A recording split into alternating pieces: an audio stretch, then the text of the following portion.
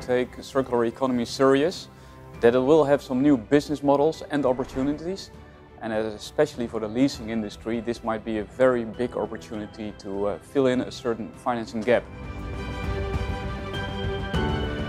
That we really need to set up an IT environment and a, and a landscape that is ready to be flexible enough to play in a digital world. We cannot predict the digital world, so we need to be able to build an IT organization that can move fast on the outside whilst cope with all the regulations and the efficiency in the inside.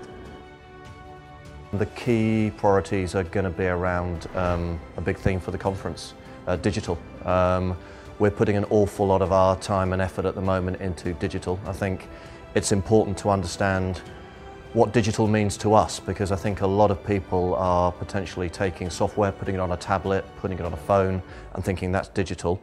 Um, and I think in, in, tune with what we're hearing in the conference um, today, digital is much wider than that. It's about being able to deliver products and services, processes that you wouldn't be able to do without this kind of technology.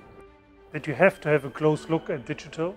You have to invest in these new technologies. You should keep in mind that you can use them externally as a connection to the customer, but it also has a great potential for internal use.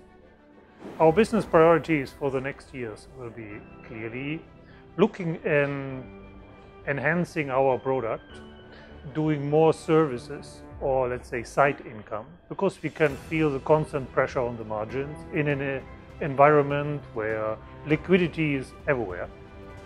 The needs of uh, the customer that will drive uh, what we will offer to the customer. Uh, the situation in Europe is very positive. Investment is taking off. That's splendid opportunity for leasing industry, which is clearly growing and will continue to grow in the coming years. The first one is to increase our numbers of partners. So we plan to increase the business of 30% from today to 2020.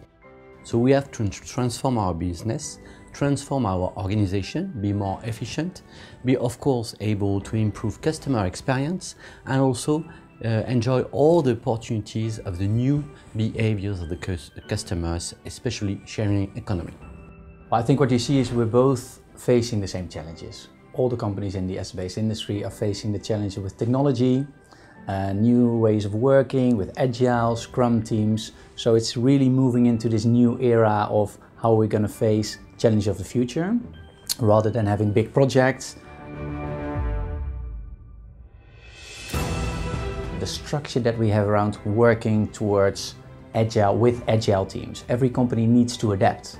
Um, the environment, whether it's regulatory, customer demand changes so fast, it's rather difficult to now predict what it will look like in three years' time. And as an organization, we need to adjust to be agile, to be able to respond to whatever changes there are, whether it's regulatory, whether it's commercial, customers, whether it's technology. Uh, I believe that we are at an inflection point in our development as an industry, that we have a lot of tailwinds. Uh, technology is helping a lot. Access is uh, becoming more important than ownership. Um, and it, technology is basically enabling new ecosystems to form.